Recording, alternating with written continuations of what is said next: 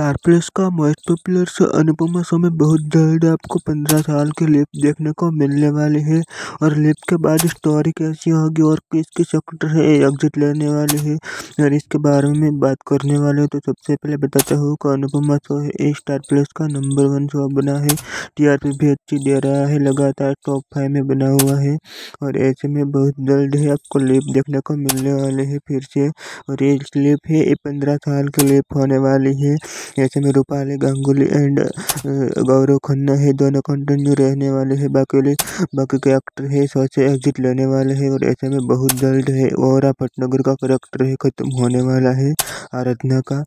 आने वाले टाइम में लिप के बाद आराधना होगी कि नहीं ये तो को पता नहीं है बट इसके बाद एक लड़की होने एक लड़की की एंट्री होने वाली है एक काजल नाम की होने वाली है और काजल नाम की लड़की पर स्टोरी है फोकस होने वाली है और ऐसे में इसकी स्टोरी कैसी होगी तो बात करें तो एक काजल के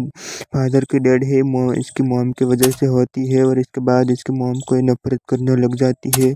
और एक अच्छी लड़की होगी हो, एक अच्छी सोच वाली लड़की होगी अनुपमा की जाती होगी और इसमें एक से छोटे छोटे लोग गरीबों की सेवा करती होगी हेल्प करती होगी और अमीरों का ताना भी सुनने पड़ता होगा इसको और ऐसी कुछ स्टोरी होने वाली है, काजल पर फोकस होने वाली है।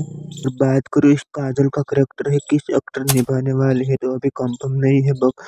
काफ़ी सारे एक्टर का नाम सामने आ रहा है, कांची जी का आशी सिंह का चिरांगी जोशी का, इसमें से कोई भी हो सकती है, अभी कंफर्म नहीं हुआ है बट ये लिप है, कब आएँगे तो इसके बारे में बात करूँ तो लिप है, नवंबर के एंड तक आ जाएँगे लिप का प्रोमो आपके सामने, और ऐसे में कितने एक्टर में लिप लाने के लिए कमेंट बॉक्स में बता देना, और ऐसी ही अपडेट पाने के लिए मेरे चैनल को लाइक करें सब्सक्राइब कर लेना मिलता हूँ नेक्स्ट वीडियो के साथ।